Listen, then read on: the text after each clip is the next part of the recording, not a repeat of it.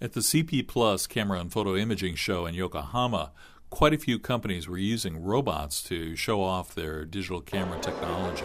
Fujifilm was showing the FinePix Z700 camera. It's a consumer uh, pocketable camera in the $200 $250 price range that actually recognizes your pet's smiles. Now, it doesn't work with all pets. It has some problems recognizing some uh, cats or dogs' smiles, uh, but it does a pretty good job. And they were using robot dogs to uh, show it off. You could take the camera and take a picture of the robot dog smiling